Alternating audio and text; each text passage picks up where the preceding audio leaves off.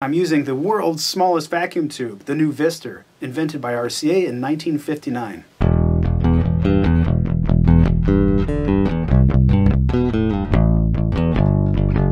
Hi, I'm Mike and I'm here at LBA Studios to introduce the DiVision. This is a vacuum tube powered direct box that's quite a bit different from all of the rest.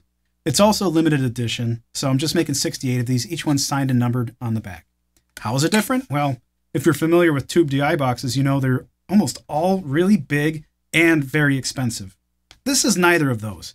Its price is going to be 329 US dollars direct from my website, lightningboyaudio.com. For the uninitiated, that's actually a pretty low price for a tube DI.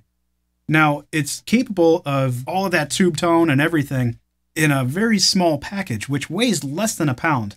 Running this thing off of a regular 9 volt guitar pedal adapter and boosting it internally with a boost converter to 230 volts. So the tube is operating at its ideal plate voltage, giving you all of that tube tone and headroom. Little LED will turn on when there's power. The output is mic level through the XLR connection, 200 ohms. It achieves this through an LBA MC15 custom design transformer, which happens to be the same transformer that I'm using in the TI box. If you're not familiar already, I'm making these transformers in-house. So that's another aspect to the tone of this DiVision. Now, it offers some other features too, which we're going to get into. But first, just to cover the basics, uh, polarity reversal switch and a ground lift switch. Now on this side, there is a volume control, which will give you up to 11 dB of boost.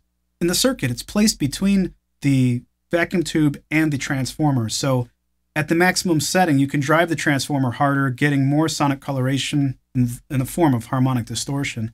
As you back it down, it's going to sound a little bit cleaner. And that also depends on the signal level feeding into this box. So if you feed a hot signal in, that's going to be more obvious. There's also a controlled label Vision.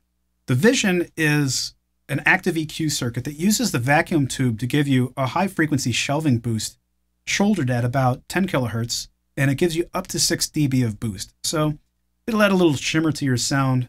Nice if you want some extra articulation out of your bass or keyboards. If you don't, you can always turn it down and it's a flat response from 10 hertz to 22 kilohertz.